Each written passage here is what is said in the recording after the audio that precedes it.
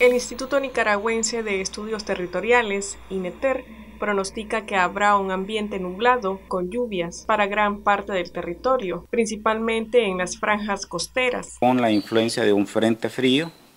eh, este está eh, alcanzando incluso la parte eh, de la península de Yucatán y la parte noreste, noroeste de Honduras. Este frente va a continuar desplazándose a lo largo del día de hoy y muy seguramente pues va a producir una vaguada prefrontal que es la que nos estará afectando el día de hoy y el día de mañana. Ya a partir del día miércoles, una vez que pase esta línea frontal por el norte del país, vamos a tener influencia de altas presiones, las cuales se van a prolongar hasta este fin de semana.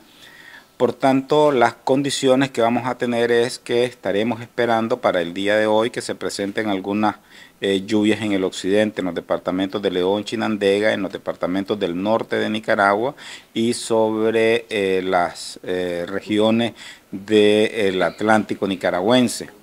El resto del territorio va a permanecer con un poco de nubosidad. No podríamos descartar que se puedan presentar algunas lluvias aisladas para los sectores de Managua, Meseta de los Pueblos y algunas zonas montañosas ya más al interior pues, del territorio nacional, producto del paso de esta línea frontal. Posteriormente, ya a partir del día miércoles, ya vamos a observar que vamos a tener días predominantemente eh, soleados, un poco de nubosidad hacia la tarde o hacia finales eh, de la noche, mientras las precipitaciones irán para las regiones eh, montañosas y las regiones del Caribe irán menguando en la medida de que la alta presión vaya eh, fortaleciéndose e influenciando cada vez más por el territorio. Las temperaturas máximas, como siempre, vamos a tener por el orden de 31 a 36 grados eh, vamos a sentir un poco de fresco seguramente el día de mañana en la madrugada y posiblemente el miércoles incluso. Por la madrugada ya una vez que pase el frente y entre un poquito de aire fresco, producto del, paso de la línea frontal y pudiésemos tener algunos 15 eh, a 16 grados en la zona más alta de Nicaragua, mientras que el resto del territorio andará de unos 18 a 20, 21 grados las temperaturas mínimas si eh, llamamos la atención a la velocidad de vientos. En este momento vamos a tener vientos eh, ligeros prácticamente en todo el territorio nacional.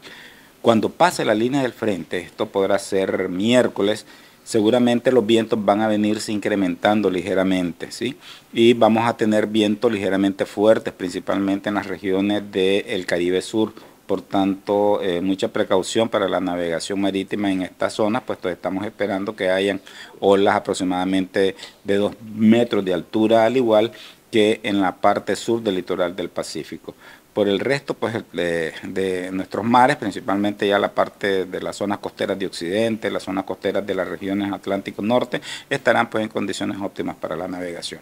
Para Noticias 12, Gloria Campos.